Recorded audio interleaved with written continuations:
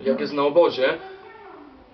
Na pewno obóz, obóz, który zorganizowany został dzięki e, wstawiennictwu Almaturo oraz e, grupy Fairplay Crew, jest e, jedną z lepszych imprez dla każdego, kto chciałby się nauczyć tańczyć oraz poznać podstawowe zasady tańca.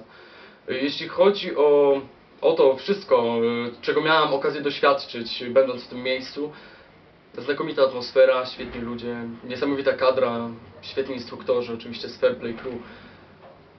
Można mówić dużo na temat samego obozu, ale na pewno więcej można by się dowiedzieć na jego temat, gdybyśmy sięgnęli do samego sedna tego, po cóż został on zorganizowany. Dla mnie obóz jest y, nie tylko czymś w rodzaju spędzania wolnego czasu oraz y, rozwijania samego siebie.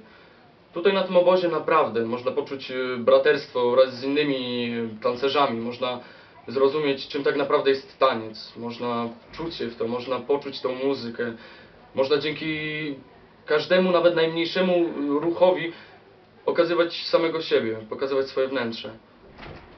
A naprawdę każda forma ekspresji, niezależnie od tego jaka by nie była, daje nam, młodym ludziom, możliwość pokazania siebie innym.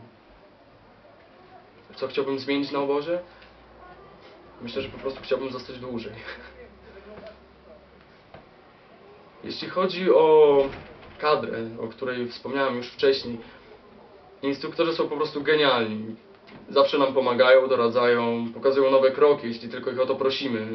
Czasem zadręczamy ich do późna, ale myślę, że chyba nie mają nic przeciwko.